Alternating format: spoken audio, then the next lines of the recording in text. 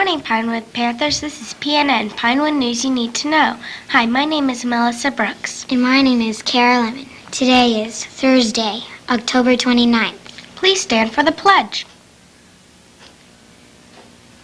I, I pledge allegiance to the flag of the United States of America and to the republic for which it stands, one nation, under God, indivisible, with liberty and justice for all. Please be seated. What's for lunch today? Pizza with roll or assorted sandwiches.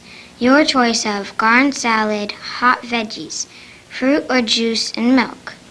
What's that, Spooky? He wants to tell you a joke. What's a ghost's favorite meal? Spaghetti. And now for some announcements. Congratulations to the following classes for having no overdue library books this morning.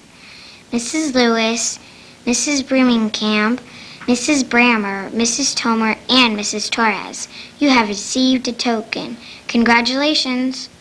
Kindergarten students will have their Halloween parade today at 1 o'clock. Everybody is invited to watch. Tomorrow night, tomorrow night is the night wear your costumes and be ready to have fun. All tickets are available at the door and there will be plenty of pizza, soda, cotton candy, and fresh baked treats. Games will be going on the whole time and and there will be lots of prizes.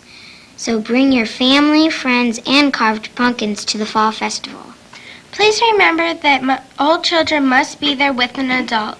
You need to wear long sleeves and pants so the mosquitoes won't get you.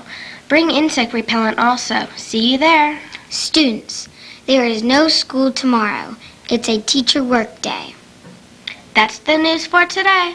The official Pinewood time is 8.02. This is Melissa Brooks. And Kara Lemon signing off. Have a thrilling Thursday.